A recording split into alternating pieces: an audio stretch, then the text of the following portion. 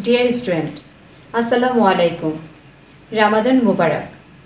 I hope by the grace of Almighty Allah, all of you are fine. This is Moonmoon Nahar, lecturer Department of ICT, Milestone College. My dear students, we are facing a global crisis, COVID-19 virus. So, you are staying at the home due to the coronavirus crisis. I know all of you are little bit worried about present situation. But I must say, don't worry my child. Everything will be fine. Just keep faith on Allah. Today I am going to discuss about algorithm and flowchart to determine the area of triangle. Now, what is algorithm? Thus, we know algorithm as a set or list of instruction for carrying out some process step by step. Now, what is flowchart?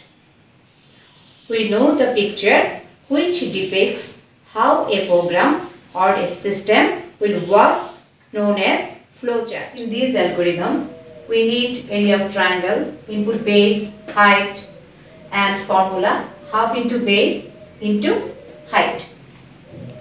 Step 1 start and step 2 read base and height. Base for B, height for H. Step 3 if this is formula area of rect rectangle formula area of triangle form sorry area of triangle formula area equals to half into base into height. Step 4 show area and stop. Step 5 stop. This is flow chart. First this is beginning symbol start that means step 1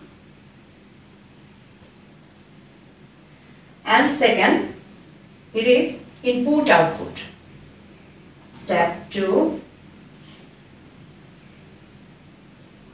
read base and height. Base and height. And this is processing symbol.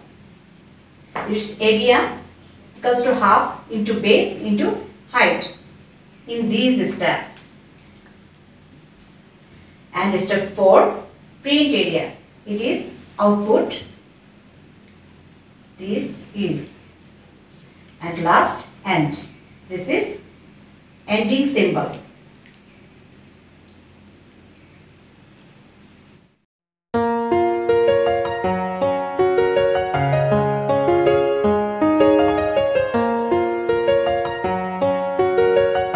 Yes, miss.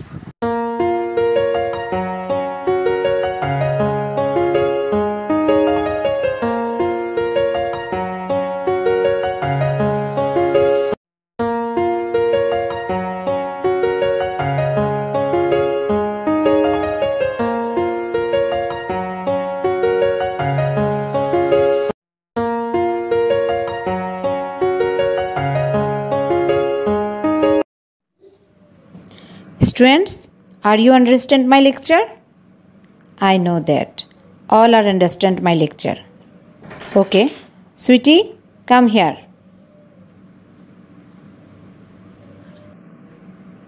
Yes, miss. Please tell me determine the area of triangle formula. area equals to half into base into height. Well done. Student, this is your homework. Okay, thank you. See you next class. Peace.